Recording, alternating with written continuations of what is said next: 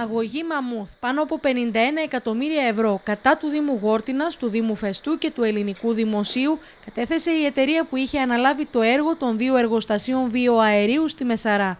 Μια επένδυση που έχει χαθεί οριστικά και επίσημα, όπως δηλώνει ο δικηγόρος της εταιρείας Αλέξανδρος Τρίμπερης, ο οποίος αναφέρει ότι οι δύο Δήμοι και το ελληνικό δημόσιο βάλτωσαν με παρανομίες και παραλήψεις μια εξυγχρονιστική επένδυση. Η αγωγή, το διεκδικούμενο ποσό ανέρχεται στα 51 και πλέον εκατομμύρια. Είναι η θετική ζημία, τα διαφυγόντα κέρδη και χρηματική ικανοποίηση λόγω ηθικής βλάβης που υπέστη η εταιρεία ΕΝΤΓΑΣ από τις παλινδρομίες και τις άστογες ενέργειες της τοπικής αυτοδιοίκησης και του ελληνικού δημοσίου. Ήταν μια επένδυση ηλεκτρικής παραγωγής μέσω βιοαερίου, την οποία κατάφεραν οι τοπικοί φορείς και το ελληνικό δημόσιο να την καταστρέψουν και να μην ολοκληρωθεί ποτέ αυτή η επένδυση. Πρέπει να σας επισημάνω το εξής, ότι η συγκεκριμένη επένδυση είχε εγκριθεί με τον αναπτυξιακό νόμο. Ήταν η πρώτη σε βαθμολογία στην περιφέρεια Κρήτης και κατορθώσαμε εμείς τα κατόρθωτα. Ότι δημιουργούσαν προσκόμματα είτε περιβαλλοντικά είτε πολεοδομικά,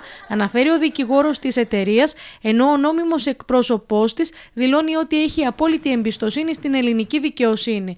Σήμερα κατατέθηκε η αγωγή στο πρωτοδικείο Ηρακλείου. Η εταιρεία μας ε, υπέστη μεγάλη ταλαιπωρία ε, τα τελευταία τρία χρόνια. Δυστυχώς παρόλο το καινοτόμο της επένδυσης και την λύση που θα έδινε σε ένα απόβλητο το οποίο παράγεται στην περιοχή του τόπου εγκατάστασης και εκεί ακόμα και σήμερα διατίθεται ανεξέλεγκτο, οδηγηθήκαμε στη ματέωση.